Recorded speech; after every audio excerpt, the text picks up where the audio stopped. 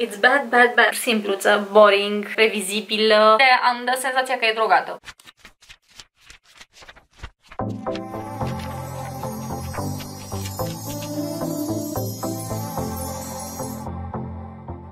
Salutare dragilor! Pentru astăzi m-am gândit să facem ceva puțin diferit pe canalul meu și în plus de toate mi-am propus să ies din zona mea de confort în ceea ce privește cărți. Dacă mă urmăriți de ceva timp și m-ați auzit vorbind despre cărți, știți că eu nu sunt cu cărțile de dragoste, cu romansurile, nu prea mă atrag genul ăsta de cărți și nu prea le citesc, dar mi-a trăznit mie așa că ce-ar fi să fac un maraton, un fel de maraton de citit cărți din astea de romance ca să-mi ies din zona de confort. Și ca să nu mai spun că băi sunt rele sau ca să văd cum este. Și am ales 5 titluri care sunt foarte populare în perioada asta și care sunt peste tot. Și pe booktube și pe bookstagram și peste tot le-am văzut. Și vă iau cu mine pe parcursul acestui clip și încercăm să vedem ce Dumnezeu este, dacă îmi vor plăcea, dacă voi găsi vreo carte de roman să zic că mamă ce îmi place! Și, și că o să mor, între noi fie vorba, mă îndoiesc, dar ca idee eu încerc, le dau o șansă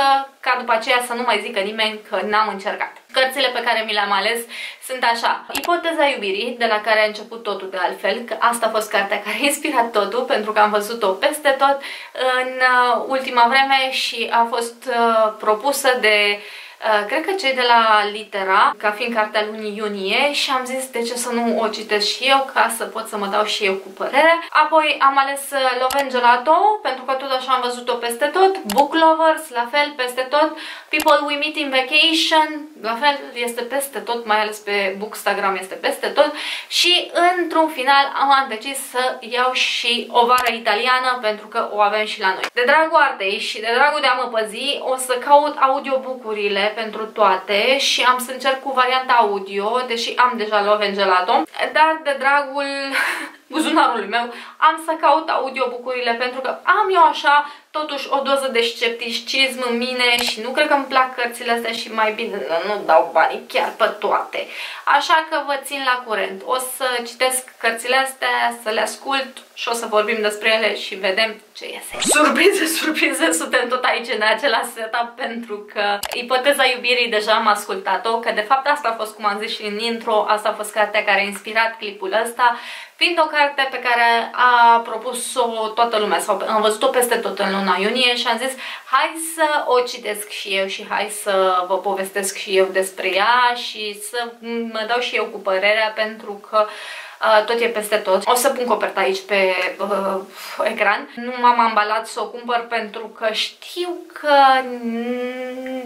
romansul pentru mine nu e cea mai bună alegere, ca să zic așa. Despre ce este vorba în ipoteza iubirii? Totul pleacă de la o poveste din asta de fake dating, care se pare că este o temă recurentă în foarte multe cărți din astea de roman și este vorba despre o tipă care este doctorant, cred, și un tip care este profesor la universitate. Partea bună este că el nu este profesorul ei, că atunci ar fi fost o mică problemuță dacă era profesorul ei, dar nu este profesorul ei, nu este la cursul ei, ci pur și simplu sunt, lucrează în aceeași universitate pe partea de cercetare în Statele Unite, bineînțeles, și uh, ea, dintr-o prostie, se duce în sărută, de acolo pleacă toată povestea asta cu fake dating-ul lui. Pentru că el realizează că mm, i-ar conveni să se știe prin universitate care are o relație, iar ea încearcă să mențină povestea asta cu fake dating-ul special ca să o convingă pe o prietenă de ei și colega ei de cameră că băi știi care-i treaba, nu vreau să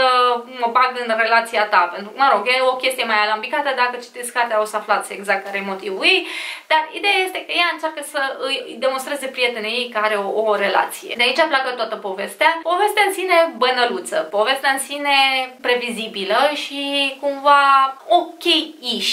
Mi-a plăcut și nu prea, adică mi-a plăcut cât mi-ar putea să îmi placă un, un roman din ăsta de dragoste sau de romance, cum vreți voi să-i spuneți. Mi s-a părut uh, simpaticuță, că a avut în unele momente a avut niște pasaje din astea amuzante și cumva niște realizări ale tipei care o făceau să fie foarte amuzant, așa. Pe de altă parte mi s-a părut puțin puțin trasă de păr povestea în sensul că nu știu ce profesor de universitate se pretează la asemenea chestii. După părerea mea, nu cred că există un profesor universitar care să se preteze la așa ceva, ei ajung să se placă foarte tare. În tot fake dating-ul ăsta ajung să se placă, ceea ce este previzibil, este normal, adică la asta mă așteptam, era clar că aici o să ducă tot, toată povestea asta, aici o să-i ducă, la faptul că o să ajungă să se placă și o să se iubească și fix în momentul în care, în care își dau seama că se iubesc, uh, se îndepărtează unul de celălalt, că vai, Doamne, dar nu, care cumva, vai, să nu cumva să avem o relație sau ceva de genul ăsta și după aia, mă rog, își pun toate lucrurile și se întâmplă totul bine. Este previzibilă povestea și îmi pare bine că nu mi-am luat cartea, pentru că cu siguranță mi-ar fi părut rău să o am fizic cartea, fiindcă nu e ceva la care să mă întorc. Ok, a fost foarte ok să o ascult, a fost foarte ok să o înțeleg, să, vă, să văd despre ce este vorba, să mă pun la curent cu cartea asta, dar dacă aș fi citit-o, cred că m-ar fi plictisit puțin, pentru că sunt pasaje în ea care sunt plictisitoare și sunt anumite lucruri care nu m-au dat pe spate, care nu m-au făcut, nu m-au impresionat foarte tare. E slăbuță, e o carte slăbuță din punctul meu de vedere, e pentru copii din ăștia care na, nu vor să-și uh, bată capul cu ceva foarte serios. O chestie care mi s-a părut puțin ciudățică, ok, înțeleg chestia asta de a încerca să evidențiezi sau să hiperbolizezi uh, atitudinea masculină a uh, personajului, atitudinea asta super masculină a tipului, în, o înțeleg, uh, înțeleg aspectul ăsta, dar totuși la un moment dat parcă a început să se exagereze cu cât e el de mare cu cât e el de muriaș, cu ce mâini mari are, cu ce palme mari are, cu cât este el de puternic, adică, wow, ok, calmează-te. Hai să ne revenim. Și pe lângă ă, asta, cât părea ea de fragilă și cât părea ea de micuță. Și un alt aspect care ăsta m-a enervat teribil, pentru că este o chestie care se întâmplă și în realitate și chiar se întâmplă și la mine în facultate și anume ideea că el ca profesor era un tip super strict, super sever și era văzut ca fiind un tiran de către studenți. Și asta nu mi-a plăcut uh, deloc, pentru că știu că se prolifera și în perioada în care eram eu în facultate tema asta cu profesorul ăla, dacă este exigent, este un nenorocit. Adică pe ideea dacă nu-ți dă 10 ușor, e un nenorocit, e un mizerabil, un câine, un, un, un tiran, vrea numai să-ți facă rău și așa mai departe. Mi se pare ok chestia asta. Chiar vorbeam cu, discutam cu un profesor de-al nostru și la un moment dat el ne-a zis treaba asta. Voi aveți impresia că eu sunt un nenorocit pentru că sunt atât de exigent cu voi dar, de fapt, cerințele mele, unu, nu sunt atât de exigente și în al doilea rând, eu ce vreau este să vă fac pe voi să gândiți, să vă fac pe voi să înțelegeți anumite lucruri, să vă fac să vă faceți treaba, să înțelegeți că presupune muncă, ceea ce nu puteți lua 10 la așa doar pentru că respirați sau pentru că existați, cum poate ați fost învățați până acum. La fel spune și el, piața este plină de cercetători mediocri, da? Iar scopul meu aici nu este să scot un cercetător mediocru, să iasă din mâinile mele un cercetător mediocru.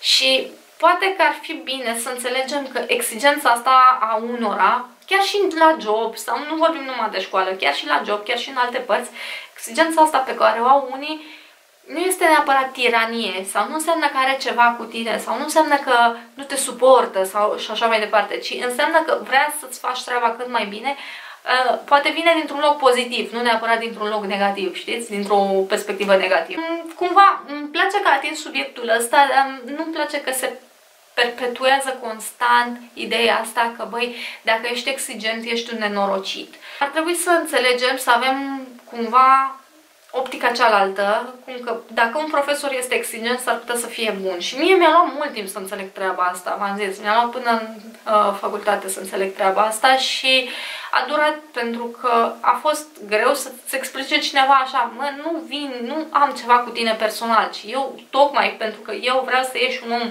capabil sau vreau să ieși un om responsabil de lucrurile pe care le faci, de aia sunt așa de exigent cu tine. Cam asta e părerea mea. Acum cred că o să iau Love and Gelato sau People We Meet in Vacation. Să vedem. O să, ori ascult uh, Love and Gelato am fizic, uh, People We Meet in Vacation o am uh, audio. Deci să vedem cum o să fie mai ok. În orice caz, o rămâne să vedeți ce părere am despre restul cărților.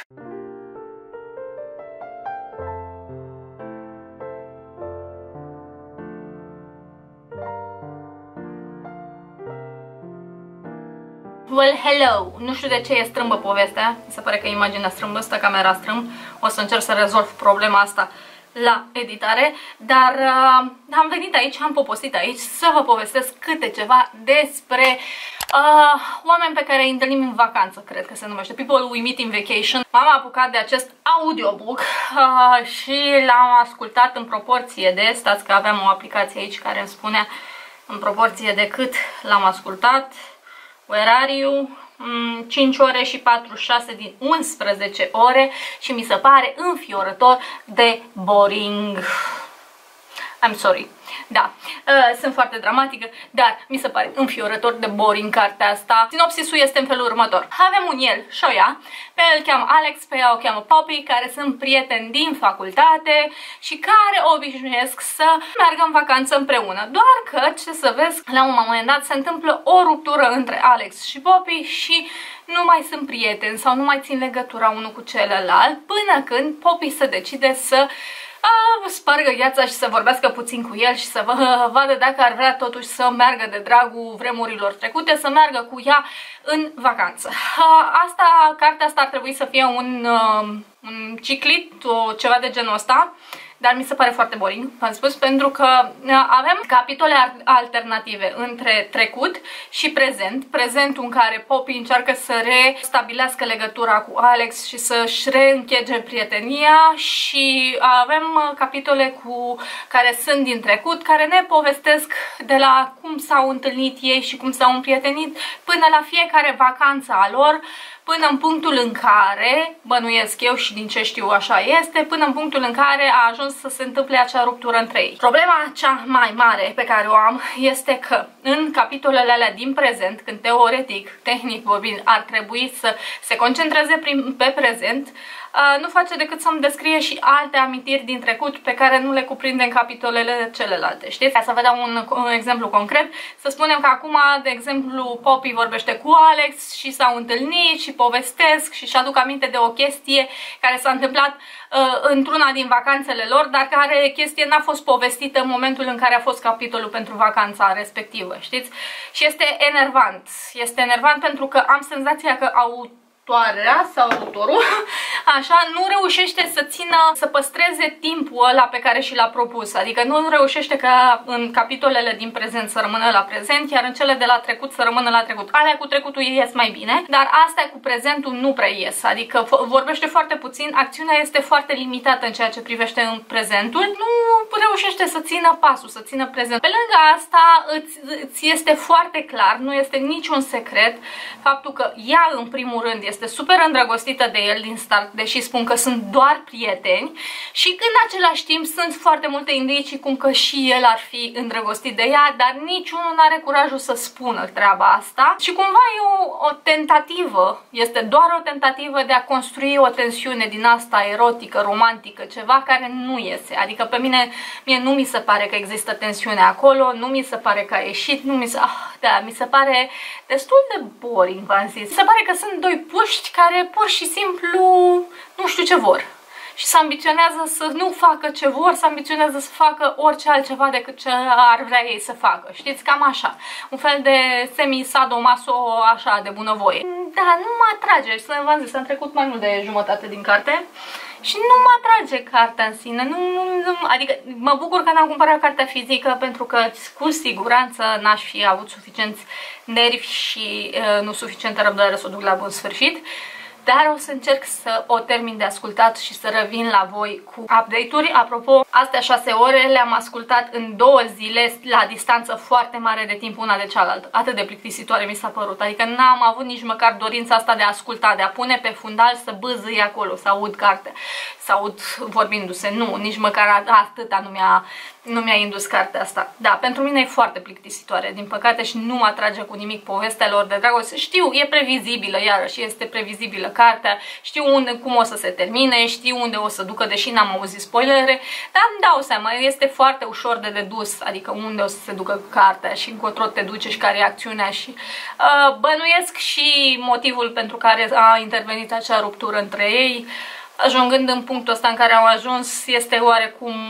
Hmm, Mm, îl poți intui. Adică nu e greu de, de, de dus, așa că, da, pentru mine e boring. Hello! Ce faceți? Haideți că am terminat People We Meet in Vacation. Finally, pentru că uh, făceam ceva acum în bucătărie și am reușit să ascult uh, cartea asta până la final, să îmi spun și eu părerea despre ea. Mm, simpluță, boring, din punctul meu de vedere, previzibilă. V-am zis, cred că de la început, cred că v-am zis în prima parte, nici nu mai țin minte ce am zis în prima parte, vorbit despre uh, cartea asta, dar uh, mi s-a părut că cumva, deși știau că se plac și amândoi se plăceau foarte, foarte tare, se abțineau amândoi de la a fi împreună și de la a se iubi și de a avea o relație, cumva parcă făceau totul din, parcă că totul era făcut din adins, să fie împreună în același loc, dar uh, să nu, nu, nu, nu, nu, nu, noi ne iubim, dar nu, nu, nu te uita la mine și chestii de genul ăsta, până ajunge totul într-o fel de, se mimează un fel de tensiune din asta între ei și bau, se întâmplă totul și de acolo gata, o luăm și aflăm și de ce s-au uh, despărțit ei de fapt și de ce nu mai erau prieteni și chestii de genul ăsta care mie mi s-au părut relativ Cred că îi voi da două stele pe Goodreads, cam așa. Nu a fost incredibil de rea, dar nici extraordinară nu mi s-a părut cartea, adică mi se pare previzibilă o chestie din asta. Dar v-am zis, eu nefiind cu romansurile sunt puțin mai dură cu ele. Nu mi s-a părut că își merită tot hype-ul ăsta, adică este o carte simpluță pe un scenariu banal, pe un scenariu clasic cumva, care a fost reciclat de multe ori. Personajele relativ insipide, adică cumva a vrut să le pună în, să fie fie antagonice și prin asta să inducă ideea că se completează, dar nu știu, nu, mi nu mi s-a părut că i-a ieșit. Nu mi-a displăcut profund, dar nici nu m-a atras, nici nu mi s-a părut wow, nici nu mi s-a părut ceva extraordinar, numai, dar pe spate, prin urmare, da, cred că două stele va avea din partea mea. So here it is. Și voi continua de aici cu Love and Gelato, care este tot așa, se pare un romance din asta de vară, cu ceva adolescentă, nu știu exact. Am văzut câteva review-uri de la ea, a fost foarte, foarte hăipuită și se pare că și vara asta este hăipuită cartea asta și vreau să văd și eu dăcii. Și rămâne să revin cu update-uri pentru Love and Gelato.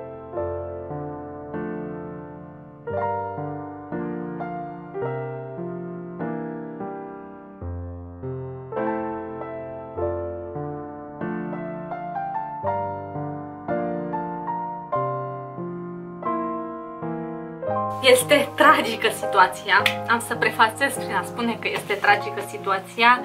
Am ajuns undeva aproape de jumătatea cărții, 145 uh, de pagini, chiar din 300 și ceva, la Love and Gelato. Uh, și am zis să vin cu un update, ce fi fost ăla, un update, am vrut să zic, pentru voi, ca să continuăm seria asta mirifică, ca să continuăm tortura asta la care m-am uh, înhămat. It's bad, bad, bad. Și nu că e rea cartea, cartea în sine n-are nimic și când spun nimic, până în momentul de față, până la 145 de pagini, nu are nimic.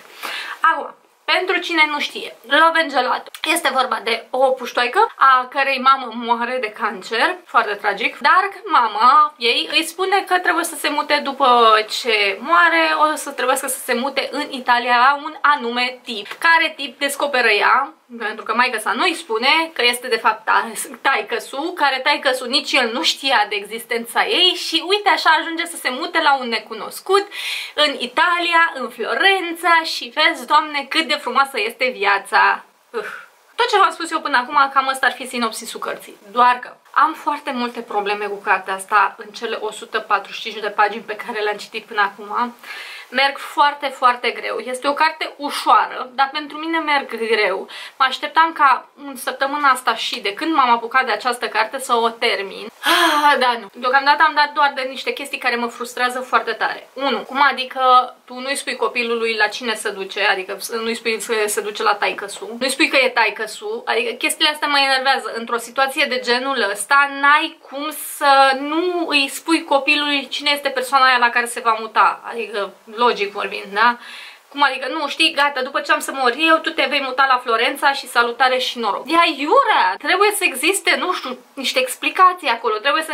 Nu că stai că o să vezi tu pe parcurs, știți? Adică, nu știu, mi se pare foarte, foarte aiurea. Mă enervează atitudinea asta pe care a avut-o mama Linei, Carolina o cheamă pe personajul principal, dar îi se spune Lina. Și mă enervează foarte tare atitudinea asta pe care a avut-o mama Linei, pentru că este o atitudine pur egoistă de om care a făcut un copil din egoism, l-a ținut pentru ea cumva din egoism și acum tot din egoism nu-i dă niște detalii foarte importante, niște detalii esențiale, să spunem, despre viața ei, copilului, știți? Adică, nu știu, câte dintre voi, dacă ar fi să ziceți copilului de mâine te muți la X, nu i-a spune că vezi că ăla e taică tu și uite așa, asta a fost povestea noastră și uite așa, de aia nu suntem împreună și așa mai departe. Adică, Câte dintre voi ați face treaba asta? Bănuiesc că nu foarte multe. Mă enervează atitudinea asta și se simte cumva o doză de frustrare și din partea linei, ceea ce o, o înțeleg și este perfect justificată, dar în rest cartea asta nu are nimic. În 145 de pagini n-a făcut decât să se mute în Italia, să vorbească cu prietena ei, să întâlnească un puști și atât. Da, și să meargă la o petrecere. Deci, nu se întâmplă nimic, nimic care să merite atenția, nimic care să suscite interesul. Știu cum o să se termine cartea, adică îmi dau seama cam care e direcția pe care o să o ia cartea, știu cum o să se termine și mi este foarte, foarte greu să o citesc pentru că mă plictisește. Este plictisitoare, deși în sine nu ar trebui să fie, deși în sine trebuie să fie o lectură ușoară, dar este mai degrabă pentru mine, uh, cartea asta are un feeling așa de uh, lectură pentru adolescenți. Adică dacă ai undeva între 14 și 19 ani, s-ar putea să-ți placă foarte tare cartea asta pentru că este fix în zona aia. Dar după 19-20 de ani deja devine de suet. De regulă îmi fac notițe pentru cărți cam la 100 de pagini. 100-150 de pagini, depinde cât e cartea de uh, lungă. Și la punctul de 100 de pagini, chiar asta am scris. Nu s-a întâmplat nimic. În afară de faptul că, că Lina s-a mutat în, în Italia, nu s-a întâmplat nimic. Nu există nimic, nu există niciun chestie, la fel și tatăl Line este cumva lăsat pe din afară, este confuz, săracul, este... Adică nu se întâmplă nimic care să uh, lege o relație între Lina și tatăl ei, adică nimic, nimic, totul se concentrează doar pe Lina, care în sine Lina mi s-a părut o, un personaj destul de egoist, chiar le spun, scriam și fetelor pe uh, la book club acolo pe grup, le scriam că mă enervează Lina pentru că este un, un adolescent din ăla egoist un adolescent din ăla tipic american, foarte egoist, care efectiv nu face decât să se gândească la ea. Maica sa este bolnavă de cancer, tocmai află că o să moară și ea se gândește, vai, la problemele mele. Și uite câte probleme îmi creează chestia asta. Și uite câte, câte neplăceri o să-mi creeze chestia asta. Și uite cum eu nu o să mai pot face aia. Și uite cum nu o să mai pot face aia. Și uite cum nu o să mai pot merge la alergat. Și uite chestii de genul ăsta. Adică o atitudine din asta super, super egoistă pe care, dacă e să mă întrebați pe mine, nu o prea găsiți la uh, adolescenții a căror părinți sunt bolnavi. Din nefericire sau din fericire am avut ocazia să întâlnesc astfel de tineri și adolescenți a căror părinți sunt bolnavi sau au fost bolnavi de boli grave Uh, și atitudinea lor s-a schimbat total, chiar dacă înainte de treaba asta erau niște copii egoiști, în moment, de la momentul ăla s-a schimbat atitudinea lor pentru că genul ăsta de eveniment sau de veste sau de lucru te lovește și te maturizează foarte tare. Lucru care nu se întâmplă cu Lina, știți? Lina este ca și cum vine cineva și rupe o bucată din viață și ea se zmiorcă e că de ce? Și înțeleg, așa este, asta e adevărul, într-o situație de genul ăsta când îți moare un părinte, așa este, dar în cazul ei, efectiv nu se vede maturizarea aia de, de pe urma suferinței pe care ar trebui să o aibă sau pretinde că o are pentru că a murit maică sa. Nu se vede doza aia de maturitate. Nu, ea este doar, uh, doar egoistă, știți? Nu-mi place, mi se pare, mă gândesc foarte serios să nu o termin, pentru că știu încotro se îndreaptă, în ce direcție se îndreaptă, știu Ah, și mi-e greu cu ea, deci curge așa de greu. Aseară, vroiam chiar aseară să mai citesc din ea în momentul în care mă pun să citesc, paginile curg foarte repede, dar mi-e silă de ea, că nu se întâmplă nimic, e așa... anost, v-am zis, am depășit vârsta, nu este ca la un roman din ăla fantasy unde este o, o lume din asta construită și trebuie să înțelegi lumea aia și dinamica dintre personaje și nu, e practic se vrea o carte din zilele noastre, nu? Cu o experiență relativ similară cu ce am putea să trăim mulți dintre noi. Uh, iarăși, mama Alinei lasă un jurnal uh, în care, mă rog, îi dă niște indicii despre sau în care povestește cum a fost viața ei în Italia. Și aia mi se pare atât de fără cap și fără coadă, fără, nu știu, mi se par aiure, nu știu, dezlânate. Uh, da, uh, ce am să fac? O să încerc să găsesc audiobook-ul pentru asta și o să încerc să continui în varianta audio și dacă nici în varianta audio nu merge, I'm sorry. Nu pot să pierd timpul. Știu, eu m-am supus la supliciul ăsta de a citi romance și de a citi cărți din astea siropoase, dar nu mă pot pune la supliciul ăsta, nu pot. Știți că teoria mea este că viața este prea scurtă pentru a o pierde sau o risipi pe o carte care nu-ți place. Așa că, da, căutăm audiobook și vedem.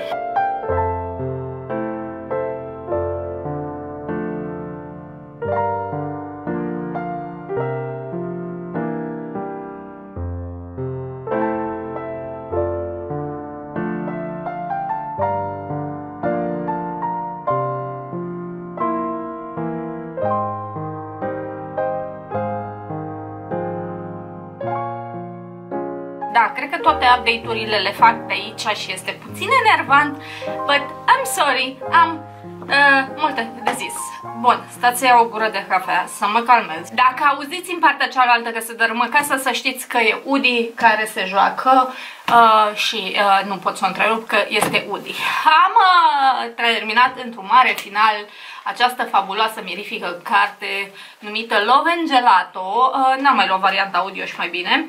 M-am chinuit să o termin așa cum este. Am trecut prin ea uh, mai mult sărind, să recunosc. Da, trebuie să fac o mențiune legată de cartea asta, că dezamăgirea mea față de ea nu vine din faptul că este catalogată ca fiind un romans. Lăsăm asta deoparte. M-am detașat de aspectul ăsta, pentru că exercițiul ăsta tocmai asta are ca scop cumva să mă apropie pe mine de romance, eu care am așa cumva o preconcepție că romance, nu ne place romance, da? Deci lăsăm asta deoparte și ajungem în punctul în care avem această carte cu foarte multe probleme din punctul meu de vedere, cu foarte multe probleme sociale. Așa cum am zis în, în primul update la această carte, este o carte pe care eu o văd destinată adolescenților sau ar putea fi uh, încadrată în categoria Young Adult. Nimic în neregulă cu chestia asta, citesc Young Adult și mie chiar îmi place și nu mă deranjează, doar că acest Young Adult l-aș opri până în 19 ani și e o muscă care vrea ceva de la viața mea. Din păcate, am senzația că această carte cumva le spune tinerilor că 1. Este ok să te folosești de persoane pentru a-ți atinge un anumit scop. 2. Este ok să-ți înșel partenerul uh, atunci când uh, de fapt ție, îți place de altcineva. 3. Este ok să intri într-o relație uh, cu un uh, tip oarecare, uh, doar ca să fii într-o relație și după aceea să-l înșel pentru că persoana care ți uh, acordă, pe care îți place începe să-ți acorde atenție. 4. Uh, este ok să uh, zici că ești îndrăgostit după ce ai cunoscut o persoană după 3 zile. Personajele în cartea asta sunt extrem de lipsite de personalitate, cu excepția unuia dintre personaje. Nu mi-a transmis nimic niciunul dintre ele. Adică unul dintre personaje m-a enervat și dacă aș citi cartea bănuiesc că știți care, uh, nu m-a nu atras niciun personaj, dacă uh, mi s-au părut atât de insipide, niciunul din personaje n-a avut nici sare, nici piper, parcă au fost făcute toate pe același calapod uh, și au fost foarte, foarte multe lucruri în cartea asta care efectiv nu au sens. De la faptul că Lina se întâlnește cu Ren, cu Lorenzo, căruia îi spune Ren, și Ren în două minute după ce s-au întâlnit, hai la mine acasă să ți-o prezint pe mama. Cine face chestia asta? Adică la două minute, ok, înțeleg că adolescenții și înțeleg că italienii sunt mai deschiși și nu știu ce, și înțeleg că adolescenții cumva sunt mai deschiși între ei, dar Cine face chestia asta? Eu nu cred că nimeni în ziua de astăzi nu face așa ceva. Pentru că nu știi cine e persoana aia, de fapt. Da, poate părea drăguță la prima interacțiune, dar după aceea... Pe lângă asta, uh, cartea asta mi-a adus aminte foarte tare de Emily in Paris, pentru că este atât atât de plină de clișee americane despre, uh, despre italieni. Deci este efectiv de la, un, de la prima pagină pleacă, pleacă cu clișee, pe care, cu uh, preconcepții pe care le au americanii despre italieni și o ține așa langa toată, toată, toată, toată cartea. Ceea ce mi se pare dezgustător și mi se pare că pune o etichetă americanilor sau accentuează eticheta aia de superficial pe care o au americanii. Și cum ei au tendința să pună tot timpul stereotipuri din astea în față și cum ei uh, se conduc după stereotipuri și uh, cum privesc alte lumi, alte țări și alte culturi uh, prin prisma stereotipurilor. Deci mă enervează la culme, deci m-a enervat chestia asta la culme pentru că este o carte plină de stereotipuri. Am înțeles că autoarea a stat uh, în uh, Italia, unde și-a terminat liceul și cumva de acolo este inspirată această carte, dar cu toate astea nu se vede. Deci nu se vede, este plină de stereotipuri, este, nu, e, nu e ca și cum ar fi absorbit cultura italiană sau cultura uh, renașterii sau uh, istoria uh, romanilor. Nu este ca și cum ar fi avut contact real cu ea, ci pur și simplu vorbește din stereotipuri și transmite mai departe niște stereotipuri pe care americanii le au. Da?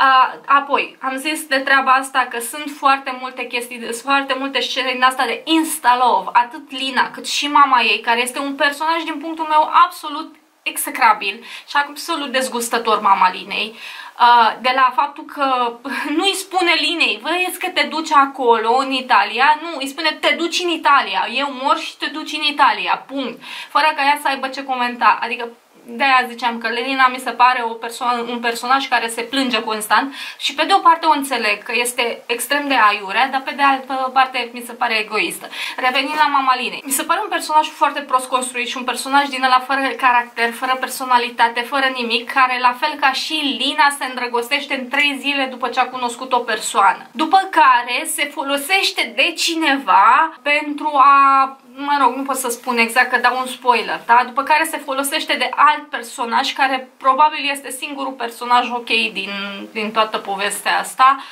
ca să iasă totul bine, ca să iasă ea cu fața curată. Mi se pare absolut înfiorător. Face un copil și a nu-i spune cine este părintele lui, după aceea ai, a, a-l trimite undeva așa, neant, pentru că vrei tu fără să-i dai informații. După aceea lucrurile de care s-a folosit și mă rog, dacă ați citit cartea știți la ce mă refer, nu vreau să dau spoilere, că dacă dau spoilerele astea s-a terminat, adică nu aveți ce.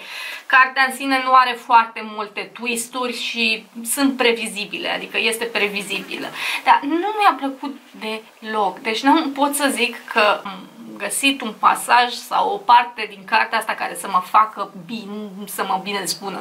Chiar mă așteptam să existe mai multe descrieri despre Florența, despre uh, uh, cultura de acolo, despre arhitectură, despre, mă rog, toată zona, toată partea asta bogată, că până la urmă, din punctul meu de vedere, Toscana este cea mai frumoasă parte a Italiei. Nu știu, n-am apucat încă să ajung acolo, dar din ce am văzut și când, apropo ca paranteză, când uh, mi-am băgat eu internet, eram prin clasa 10 -a, stăteam cu orele și mă uitam la poze din anumite zone, din Toscana și în special din Italia. Mă fascina să mă uit la chestia asta și cred că eu personal știu, acum dacă mă trimiți în Florența, știu să-ți arăt cu uh, locurile de acolo ca și cum aș fi fost, ca și cum aș fi trăit acolo, pentru că am stat ore în șir să mă holbez la ele pe internet. Uh, și mă așteptam să văd mai multe descrieri, să văd mai multă cultură, să văd mai multe, um, cumva să dezvolți partea asta, cumva să-l faci pe cititor să, să fie interesat de Florența, de cultura lor, de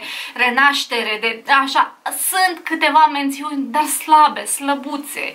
Uh, și superficiale din punctul meu de vedere. Nu mă așteptam să fie o carte de istorie sau o carte culturală, dar cu toate astea sunt slăbuțe mențiunile.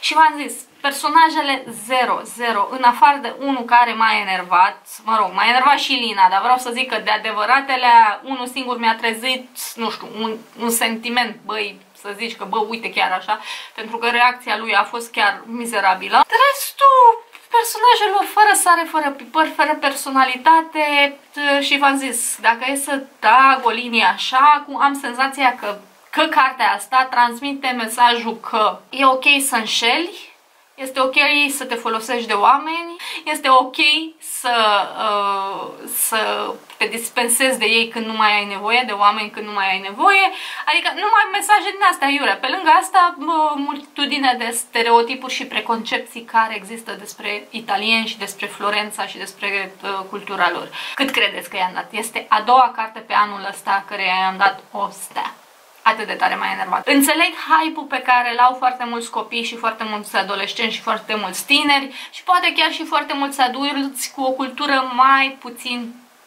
dar când te uiți în esența acestei cărți și vezi atâtea stereotipuri și vezi că uh, transmite niște mesaje care nu sunt ok, nu mai e cum să-ți placă cartea asta, știți? Nu, nu mai e cum să o, să o iubești.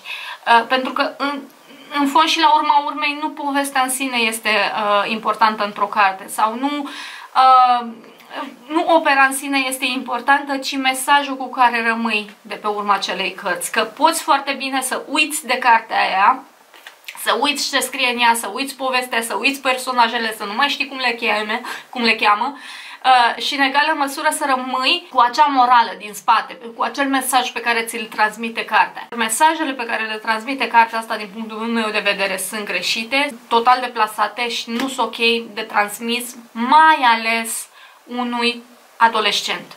Da? Mai ales unui adolescent care este în formare, care este susceptibil de a fi manipulat, care poate înțelege că sunt ok lucrurile astea și să faci lucrurile astea. So, this is it, folks. Se consemna că mă asortez cu cartea. da. Hello, ce faceți? Mă iertați că sunt așa ciufilită, dar tot prin bucătărie eram, pentru că uh, ascult Book Lovers, care uh, este o carte pe care am decis să nu o cumpăr. Am văzut-o în librărie la Carturești, nu știu, cred că e în engleză, nu, nu știu dacă o găsiți în română, uh, dar uh, am uh, decis să o ascult în varianta audio, pentru că fiind romance, da, nu am foarte mari așteptări și trebuie să recunosc că până acum așteptările mele pe de o parte au fost împlinite, dar pe de altă parte, nu știu, mi s-a părut simpaticuță cartea. Sunt undeva așa pe la vreo 30-40% am, am ascultat din carte și e simpaticuță, este simpaticuță. Este vorba despre doi editori care, mă rog, ajuns să lucreze pentru aceeași editură, ei nu se plac, adică la prima lor interacțiune a fost mai cu scânteie, așa, nu prea s-au plăcut, nu prea s-au înțeles unul cu celălalt, dar ajung printr-o întâmplare a sorții să se întâlnească într-un orășel din asta foarte necunoscută, așa ca să zic, din Statele Unite, undeva unde e pădure, unde e un orășel mic din ăsta cu o comunitate strânsă și ea ajunge acolo în vacanță, el se pare că de acolo el se trage, deși ea nu știa treaba asta, ea ajunge în vacanță acolo împinsă de sora ei, care îi spune că, vezi, domnule, trebuie să-și ia vacanță, sora ei fiind însărcinată, având și doi copii acasă și uh, încep să se iște tot felul de scântei între ei, între el și ea, vreau să spun, și uh, încep să, nu știu, să relaționeze. Ba să înțeleg, ba nu să înțeleg, ba să înțeleg, ba nu să înțeleg. Ce-mi place la cartea asta este dialogul, că cumva dialogul este mai natural, mai firesc, pare mai normal, mai plauzibil decât în cărțile pe care le-am citit până acum, adică pare mai firească și cred că asta a fost unul din motivele pentru care mi-a plăcut cartea mai mult până acum, pentru că pare mai firească decât restul cărților, adică nu este super, nu pare să fie o carte din asta super romanțată, ci pare cumva mai firească interacțiune, adică chiar văd interacțiunea dintre ei doi chiar o văd, adică o văd posibilă, văd că s-ar putea întâmpla, adică văd că personajele astea chiar ar putea exista în viața reală, adică un el și o ea care să nu se înțeleagă, să se întâlnească într-un loc și cumva din cauza sau datorită mediului înconjurător să se apropie unul de celălalt. Acum vom vedea. Ce trebuie să menționez din start este că nu-mi place deloc de sora uh, ei, uh, pe care am uitat cum o cheamă. Bine, nici pe ea nu prea am reținut cum o cheamă, dar mă rog. Uh, cred că Nora sau Norma. Nora sau Norma o cheamă, una dintre ele. Ele sunt două fete crescute de mama lor pentru că tatăl lor a murit sau le părăsit, ceva de genul și uh, Nora sau Norma este genul ăla de uh, femeie super independentă, super puternică, stăpână pe ea, care nu are nevoie de nimeni. Chiar m-a amuzat că zicea la un moment dat că ea nu a avut Uh, de ani de zile nu am mai dormit la un uh, partener de el sau la un iubit de ei pentru că are o rutină de skincare de seară foarte complexă și foarte alambicată care durează vreo 45 de minute și nu-și permite să-și ia tot timpul toate lucrurile cu ea când se duce să doarmă peste noapte la un iubit de ei. Uh, și pentru că este atât de independentă, nu prea nu reușește să țină o relație și este văzută ca fiind o tipă foarte rece de potențialii ei iubiți. Așa. Pe când sora ei este cumva în anti teză se vrea, dar uh, mi se pare că nu prea a ieșit. La modul că este o tipă care este deja într-o relație că na, e căsătorită, are doi copii, cu al treilea pe drum și are niște apucături din astea așa de copil din ăla tâmpit, de uh, știi, hai să mergem în vacanță hai să mergem în vacanță și uite fac eu o listă cu toate lucrurile pe care să le facem ca să ne distrăm în vacanță, printre care ar fi unul să se îmbete criță, doi să se cupleze cu un cowboy de acolo din orașul ăla, uh, trei să facă în skinny dipping într-un lac de acolo din orașul ăla, patru niște chestii din astea pe care niciuna din lucru, niciunul din lucrurile astea ea nu le poate face fiind însărcinată. Uh, dar să le facă sora sa pentru ea, știți, ceva de genul ăsta. Și e cumva penibilă, adică e, e penibilă. Plus că mă scoate din sărite, teribil de tare, asta e un pet piv de-al meu, uh, Mă scoate din sărite genul ăsta de femeie care pentru că este însărcinată are impresia că îi se permite orice sau că îi se permite să se scuze de la orice, știți? Ok, înțeleg că nu poți să te duci să ai un one night stand cu un cowboy pentru că de ești măritată și ești și însărcinată pe lângă asta și cumva ar fi fost uh, aiure, dar pe lângă asta uh, nu mi se pare ok la cea mai mică chestie tu să te scuzi că ești însărcinată. Ah, eu nu mai stau în seara asta afară că eu sunt sărcinată. Eu nu mai stau să fac nu știu ce, că eu sunt sărcinată. De ce ai mai venit? Dacă ești însărcinată, știți? Adică știu că există tendința asta de a se folosi această scuză. Eu sunt sărcinată, da. Come on. Adică chiar la orice, chiar la orice, seriously. Da, în rest, da, decurge destul de ok, firul narrativ este ok. V-am zis, dialogul dintre ei doi îmi place cel mai mult pentru că sunt simpatici, adică este simpatic dialogul, în rest, povestea relativ previzibilă, adică știu unde o să ducă, știu ce o să se întâmple și mă aștept la final, așa că we shall see.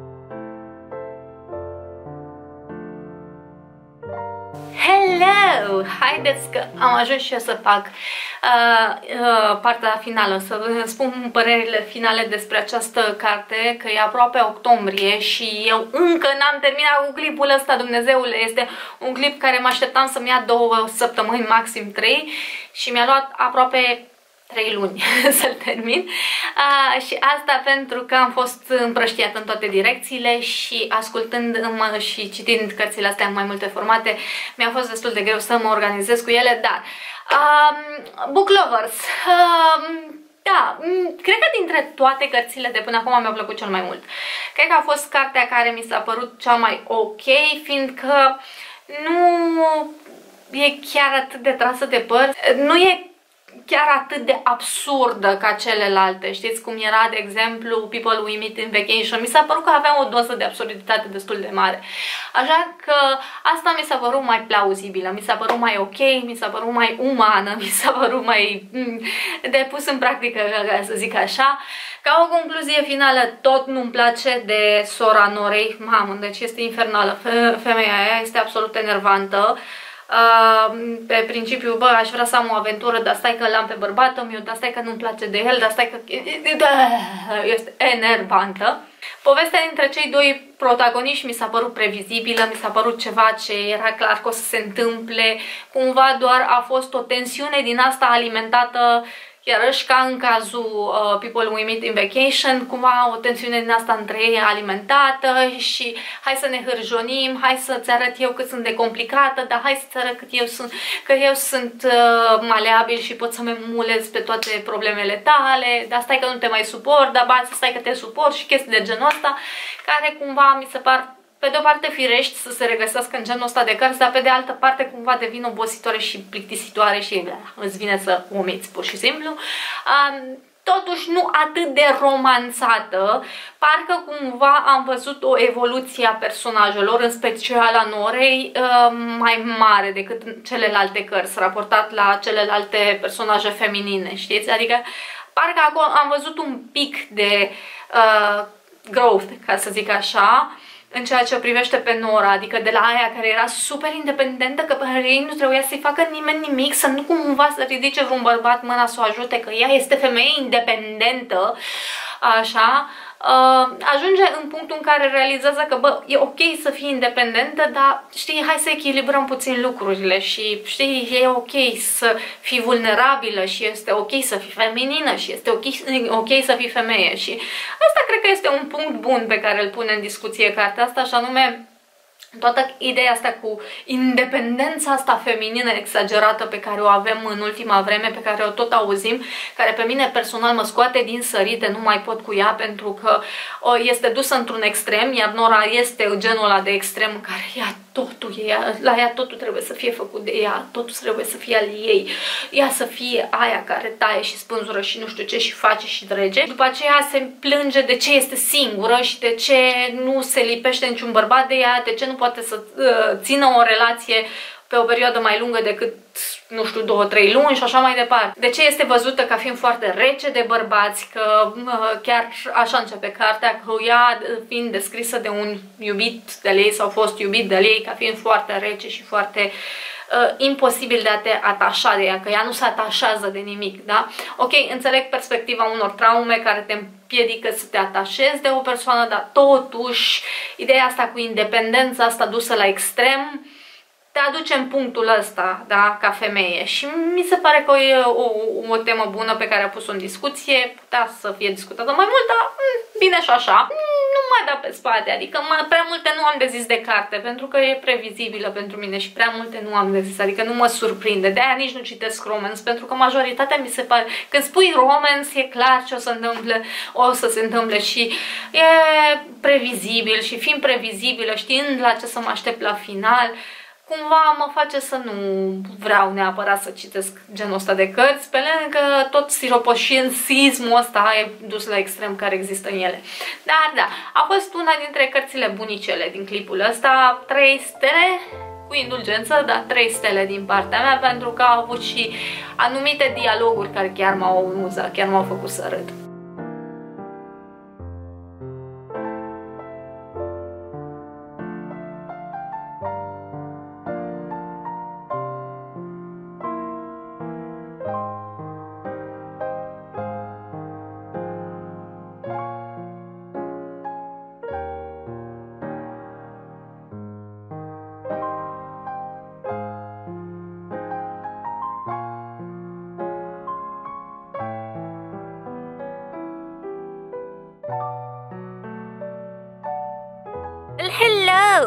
Faceți? Am zis că să profit de perioada asta când mai este umbră aici, lângă perete și să vin să citesc și uh, m-am apucat de o vară italiană care este tot așa un romance se pare de vară, de o călătorie de vară italian. Tot, toată lumea are ceva cu Italia se pare, apropo de Lovengelato, toată lumea are ceva cu Italia și vară și cu... Toată lumea se îndrăgostește în Italia aparent. Da, na, așa. Despre ce e vorba în cartea asta? Este vorba despre o tipă care cumva se regăsește pe ea sau nu știu exact că n-am citit foarte multe și n-am auzit foarte multe despre cartea asta, dar am văzut-o că este cam peste tot, pe Bookstagram cel puțin am văzut-o peste tot. Uh, ăia sunt niște câini isterici, ignorații. Uh, și de-aia m-am decis eu să o citesc, am văzut-o peste tot și am luat-o și în format fizic să nu mai fiu de la. să am și eu măcar două cărți în format fizic. Așa, o avem pe o tipă pe nume Katie, uh, care își pierde mama în urma cancerului mi se pare cunoscută povestea, mi se pare că e un light motiv. Pe lângă Italia și îndrăgostit în Italia, mi se pare că este un light motiv ăsta cu uh, femeile care își pierd uh, mamele de cancer. Este a treia, pentru că să nu uităm că și tipa din, uh, cum o chema, că am și uitat, și tipa din uh, ipoteza iubirii la fel, își pierduse mama. Cu toate că nu era tema principală, dar și ea își pierduse mama, tot în urma cancerului. Prin urmare, uh, se pare că e un light motiv, nu știu ce au toate deci pierd mamele. A, și asta din, uh, cum o cheamă, din uh, Book Lovers, la fel. Da? Deci sunt uh, câte? 4 din 5. Splendid, ce pot să zic. Se pare că e un light motiv vara asta, cu mamele care mor de cancer. Știu, subiectul e tragic, dar încerc să fiu și eu ironică, dar, pentru că mi se pare puțin absurd să ai 5 cărți care sunt în trending, cu aceeași temă. În fine, așa, o avem pe Katie, care își pierde mama, a cărei mama este centrul universului și al ei și al tuturor, pentru că mama ei este omul bun la toate și omul perfect și omul care le știe pe toate. Ceva de genul ăsta o descrie, puțin ă, deplasată descrierea din punctul meu de vedere.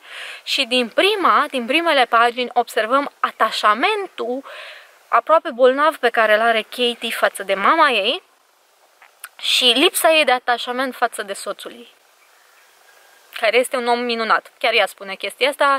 Uh, Eric, care este un om minunat uh, și care nu greșește cu nimic, dar ei nu-i place. Și ea vrea să divorțeze. De ce? Pentru că Eric este un om minunat și așa, dar ei nu-i place, că e un om minunat. Altele săracele să chinuie o viață întreagă să găsească un bărbat ca Eric și ea îl are, bine mersi, și nu-i trebuie. Că de ce e așa minunat? Deci am început cu stângul cartea asta, pentru că deja m-a enervat. Pe lângă simili, similitudinile pe care... La, similitudinile pe, nu se, similitudinile, așa pe care le găsesc între cartea asta și celelalte. Am început cu stângul pentru că mi se pare că Katie are o atitudine din asta super aiurea. Adică, nu știu, mi se pare aiurea rău de tot atitudinea asta pe care o ia, a, a murit maica sa și zici că gata, s-a terminat viața. Eu înțeleg că, într-adevăr, poate să fie o pierdere imensă și te zdruncină și cumva ți se oprește lumea în loc pentru o perioadă și înțeleg că e traumatizant să-ți pierzi părintele, uh, mai ales tânăr fiind, dar ea e deja adult, adică în toată firea, cu o viață deja formată, dar cu toate astea bă, mi se pare puțin bolnăvicioasă relația ei cu mama ei, adică mama ei alege draperiile, mama ei îi spune ce să gătească, mama ei face nu știu ce, mama ei, mama ei este centrul universului. Și când centrul universului s-a dus, adică cred că ca o paranteză, cred că e bine de gândit și așa când noi, restul muritorilor de rând, când, facem, când dezvoltăm atașamente față de alți oameni, să ne gândim puțin mai bine ce înseamnă dacă acei oameni, ce ar însemna ca acei oameni să dispară brusc și pentru totdeauna din viața noastră. Adică asta cumva îți dă de gândit uh, ca să știi cum să tratezi lucrurile, gen uh, dacă îți dispare centrul universului, dacă dispare persoana ta numărul 1, ce faci? Știți? Cam asta e ideea. Um, da, rămâne de văzut. Am citit vreo 20 de pagini și m-am deja mai enervat. O să mai citesc, o să încerc să mai citesc câteva pagini acum și mai uh, citesc mai târziu și revin mai încolo cu un update. Well, hello, dragilor! Uh, ce faceți? Uh, da, uh, în sfârșit vin și eu cu finalul pentru această carte, pentru uh, o vară italiană și am stat mult să mă gândesc dacă să fac ceea ce am făcut și anume să dau cu ea de zvârlita pentru că mă enervează la culme. Deci m-a enervat cartea asta în ultimul hal, am citit vreo 50 nu, vreo 70 de pagini din ea și nu, am aruncat-o pentru că nu mai pot. Nu, efectiv nu mai pot cu tematica asta și uh, dintre, cred că dintre toate personajele, din toate cărțile astea de romans pe care le-am citit, Katie este cea mai insuportabilă. Uh, poate aia mică din uh, Love and Gelato să fi fost la fel. Da, aia măcar avea o scuză că era adolescentă și se, port, se purta efectiv ca un adolescent răzgâiat. Asta este adult, teoretic, și n-ar trebui să aibă scuza asta. Deci este atât de enervantă din punctul meu de vedere, pentru că, în primul rând, perseverează și continuă și toacă în continuu, în continuu tema cu maică să că, vai, mama a murit și dramă și mama moare și mama și mama mea și centrul universului meu și lumea mea s-a terminat și ah, ok, înțeleg că suferi când a murit cineva, când ți-a murit cineva foarte drag. Uh, înțeleg că îți dă viața peste cap și înțeleg că suferi și înțeleg că este, dar nu poți efectiv fiecare pas pe care îl faci în viață să legi de această uh, dramă și totul să devină o dramă și se poartă exact cum ca aia din Love and Gelato, doar că este, doar că este foarte, foarte răzgâiată. Și mă deranjează foarte tare, lăsând toate lucrurile astea la o parte, mă deranjează modul ei în general de a gândi, adică îți lași soțul, uh, îi spui că, știi ce, eu vreau să divorțez și pleci. Nu-i spui nici că, bă, uite, asta e treaba, nu, eu nu mă mai înțeleg cu tine, eu nu mai vreau să fiu cu tine, eu nu știu, nu vreau, pur și simplu, pentru că dă impresia că cumva și pe bărbatul tot măsai l-a ales, cel puțin mie așa m-a lăsat impresia, că tot măsai l-a ales și acum că dacă a murit măsa, poate să divorțeze de el, că de ce să mai stai agățată de el. Deși el, săracul, este un tip foarte ok, cred că este singurul în asta de 70 de pagini eu mi-am dat seama că e cam singurul uh, tip ok din cartea asta. Este singurul cu tip normal. Și tipa asta efectiv își bate joc de el. Deci Katie pur și simplu asta face. Își bate joc de el și de sentimentele lui. Pleacă fără să-i zică nimic. Îi spune, știi, eu vreau să divorțăm. Ce om normal te suportă și acceptă lucrurile astea și în ce lume normală ai putea să faci treaba asta. Adică să-i zici lui bărbatul tu, băi, eu vreau să divorțăm și a doua zi îți faci bagajele și pleci. Știi? Fără să zici nimic altceva. Și pe premisa asta, eu nu am terminat cartea aia și v-am zis nici n-am de gând să o termin, că nu mai pot, efectiv, nu mai am nervi pentru romans, gata, mi s-a umplut, nu mai pot, îmi vine să vomit, mi să ia crește, dacă mai dă cineva o carte de romans, îi dau cu ea în cap, eu fac guler în jurul gâtului, că nu mai pot, jur.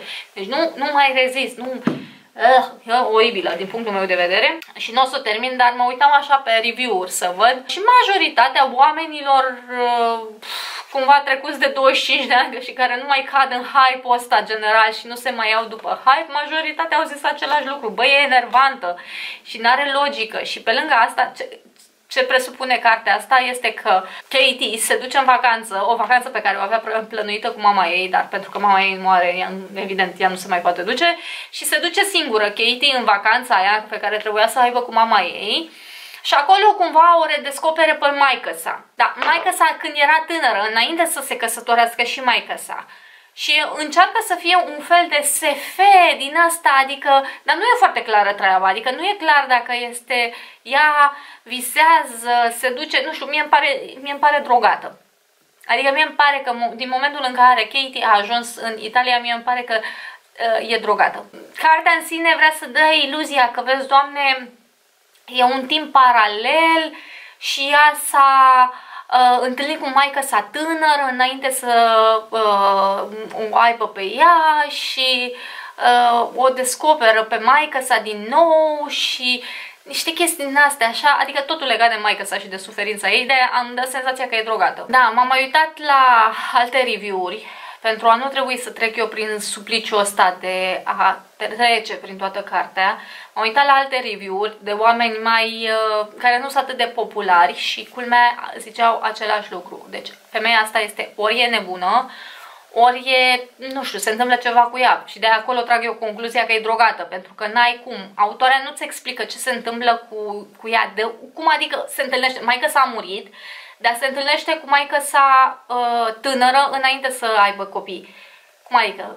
Uh, e un timp paralel, e SF, este un vis, uh, e hipnotizată, nu știu, are halucinații. Eu am zis că are halucinații, deci eu merg pe premiza asta că e drogată și are halucinații. Nu, nu m-a, nu m-a încântat deloc, știți, pentru că e total meșbalbășul, că pentru că toată cartea practic se învârte în jurul Cozi, cu suferința lui Katie, cum a pierdut-o pe mama ei, dar ea nu-și dă interesul să o descopere pe maică sa când e tânără.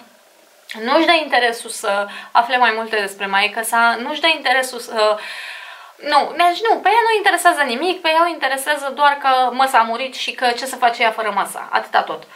V-am zis, lucru pe care pot să-l înțeleg până la un punct, dar totuși pentru a scrie o carte doar chestia asta și repet, un alt lucru pe care l-am văzut în uh, review-urile la care m-am uitat, toată lumea spune că este insuportabilă și că e mm, sărită de pe fix pentru că nu e ok comportamentul ei, iarăși ajungem la ideea că, bă, știi cumva, când ți se pune ție pata, e cam ok să îți înșel partenerul, pentru că vă aduceți aminte că vă spuneam că ea îi uh, zice lui bărbatul înainte să plece în Italia, îi spune că ea vrea să divorțeze, dar nu-i dă nicio explicație, nu stau mai mult să discute pe subiectul ăsta, nu, bărbatul chiar îi spune, o întreabă la un moment dat, bun, și când te întorci discutăm, nu? Și ea zice, mm, îl las așa, cu vorba în vânt, așa, adică nu-i zice nici da, nici nu.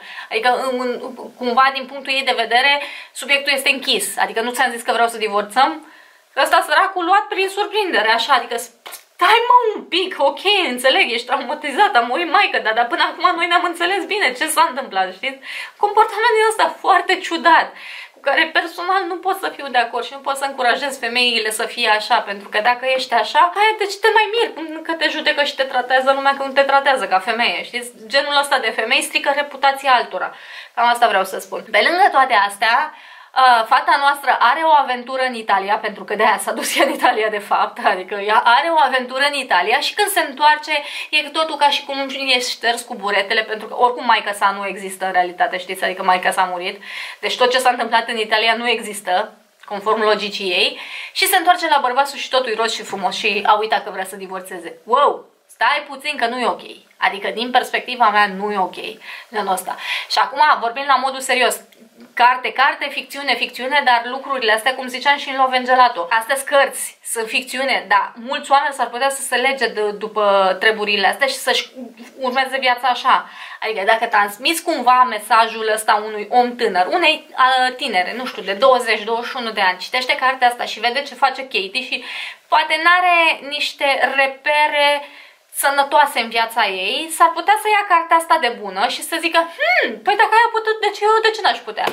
Adică eu, de ce să nu-mi las soțul acasă, să plec într-o vacanță și să am aventuri și să vin eventual și însărcinată, dacă are problema? Și uite așa, și ăla să stea să mă aștepte. Și dacă uh, comentează bărbasul, tot el e nenorocitul, știți? Că acum suntem în perioada în care noi femeile suntem extraordinare și bărbații sunt niște nenorociți un lucru care, mă rog, sunt de acord până la un punct, da? Hai să nu exagerăm, că și noi avem părțile noastre de vină ca femei, da? Transmite mesajul ăsta și nu pot să fiu de acord cu treaba asta. Adică chiar nu pot să susțin ceva care spune treaba asta. Băi, nu e ok să gândești așa ca femeie. Ok, îți vrei, ca și în cazul ălea cu uh, book lovers, ok, vrei să fii independentă, vrei să spargi tu, să dai tu, să centrezi cu capul, să Uh, să șutezi, să centrezi, să dai cu capul, să faci tu toate cele. Ok, înțeleg chestia asta, dar vezi că trebuie să ai și niște limite, că după aia te trezești singură, părăsită, nu te vrea nimeni și te întreb de ce, dar de ce, că eu am fost independentă și n-am cerut nimic la nimeni. Păi da, și independența asta dusă la extrem uh, e o pro- creează probleme. Uh, așa și în cazul lui Katie, adică, băi, nu poți să fii atât de Uh, lipsită de considerație și de lipsită de uh, respect față de sentimentele omului de lângă tine, că practic ea asta face. Nu-și, nu-și respectă partenerul, nu-i respectă sentimentele, da? Îi zice, băi, eu vreau să divorțez și pleacă. Dar, nu e ok, nu e un comportament sănătos, da? Eu înțeleg că relațiile sunt din ce în ce mai instabile în, în ultimii ani, dar hai să fim serioși că sunt instabile pentru că noi ni le-am creat așa. Da, nu mi-a plăcut și nu pot să termin cartea, nu mai am nervi și pentru ea și nu, nu, nu. Spuneți-mi dacă voi ați citit-o și dacă v-a plăcut, chiar aș vrea să-mi spuneți dacă v-a plăcut, de ce v-a plăcut și de ce vi s-a părut cartea asta interesantă și spuneți-mi dacă este sau nu drogată Katie, că eu chiar nu mai am răbdare cu ea. Salutare de sub lună, cred că, dar nici nu știu dacă avem lună în seara asta. Uh, Nicoleta de la editare aici mi-am dat seama că editam de zor la clipul ăsta și că nu am făcut și eu un outro decent. Atât de tare m-au bulversat cărțile astea și nu într-un sens bun, încât am uitat să fac un outro de Doamne ajută pentru cărțile astea. Scopul acestui exercițiu, că de fapt a fost un exercițiu, nu știu dacă ați realizat, a fost să, odată, să încerc să citesc ceva Uh, speranță mă, mă, mă, mă bruiază.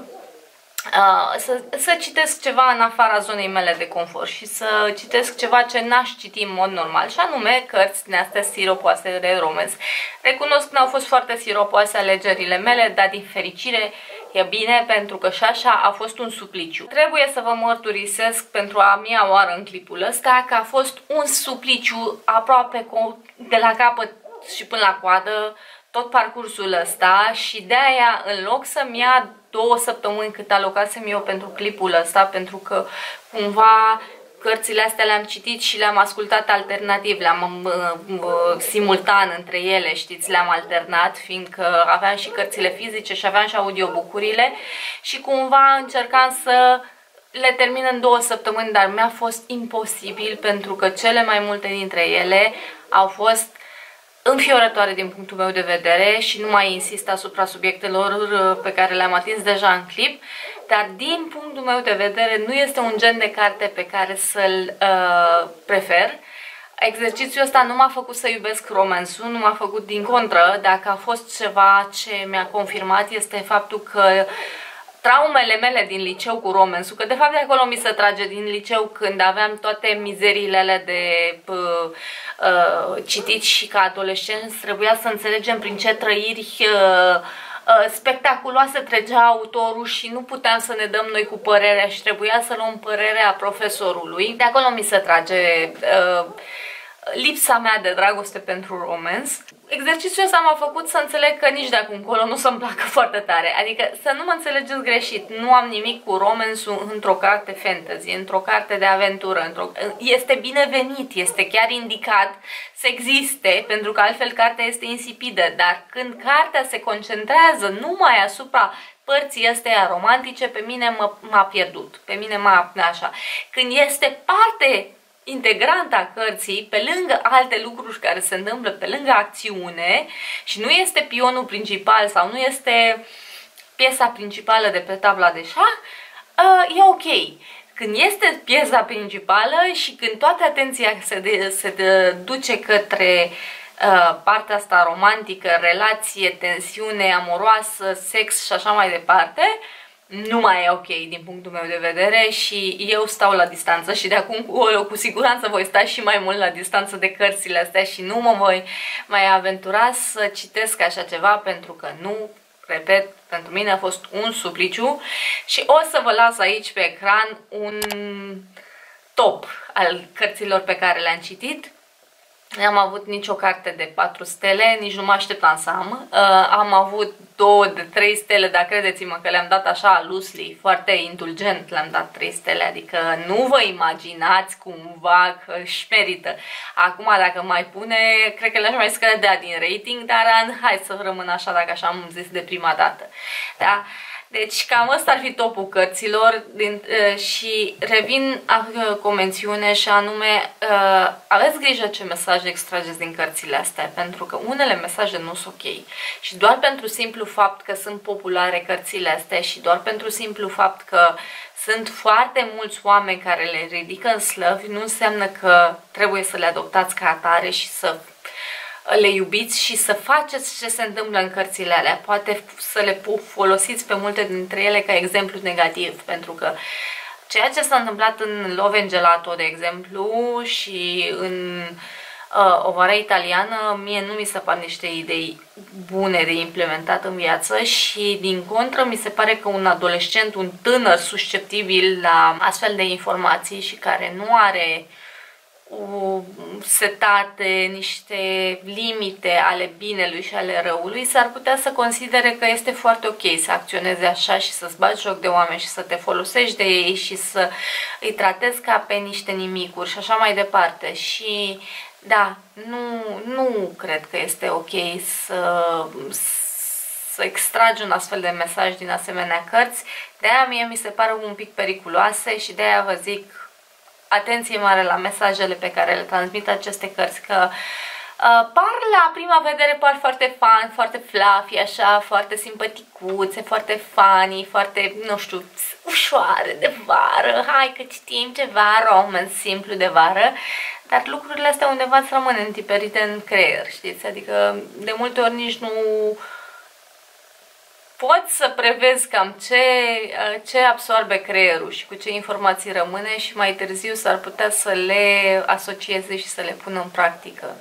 Da, cam atât am avut de zis pentru clipul ăsta care este foarte lung, este infernal de lung, nu mă așteptam să fie atât de lung pentru că am vorbit foarte mult, am mai scurtat cât am putut din el, dar tot e lung, tot are peste o oră, așa că vă las.